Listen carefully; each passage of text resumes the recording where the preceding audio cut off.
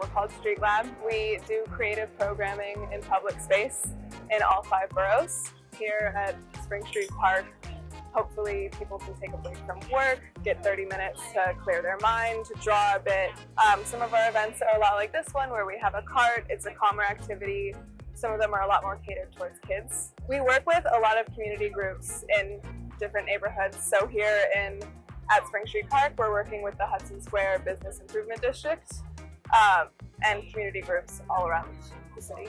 Kids get to talking, they make friends, parents talk and make friends, and ultimately we're trying to provide a platform in public space for the people to use it and create connections in their communities. You can check us out on social media, just at Street Lab, um, to find more detailed information, or our website where they're all listed. Yeah, we just try and activate public space wherever we can.